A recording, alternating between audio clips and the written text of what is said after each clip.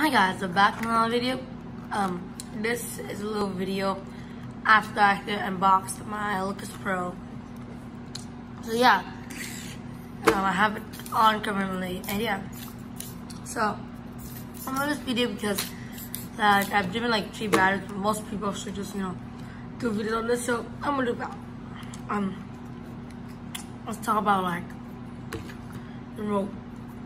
I love the rubbiness on the Redcat, with expensive and bigger vehicle, it has this plastic. It does feel well since it grip, but I do prefer this. More soft and comfortable to control. The steam trim is okay. Yeah, like a power charge, I get.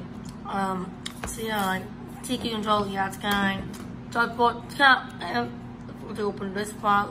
So yeah, um, I'll just say that this car doesn't drive straight. Like, I put the trim hat, that's I can translate, but actually, like, what do I say? So mostly it just turns a bit on the left, also on the right.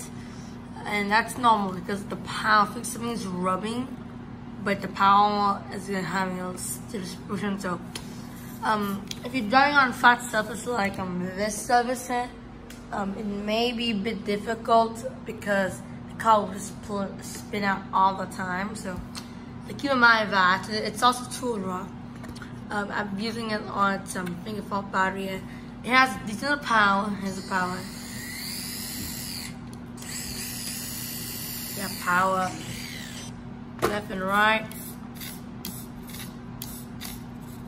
Yeah, okay on pins do do rub a bit on the body. Yeah um um yeah like it's nothing to complain. I kind of do just use a lipo battery. This one i discovered from um i think like well like every time you charge you gotta put like a new UAAs they say in the, in the manual but actually you just don't do that. You just you know put some UAAs could pro I would probably get the USB charger so I could accommodate with this and the vat and yeah, like a little like a little little long treatment almost around treatment video. I can make about this um Team Associated SC28 um these do come up a bit. Um so yeah like flaws probably that's going not that straight. Um probably the most hated thing is the integrated charger.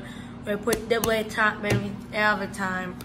Um the wheels okay, like the chassis bit thin. Two ride does slip on most of the surface. Even on a very, very high grip surface, well, it will have some problems at, at um, flipping. So yeah, that's my little video right there, guys. So yes, guys, um, if you haven't seen my video, I'll put up there. So guys, like and subscribe, and we'll see you guys back on our video on this SC28. Bye.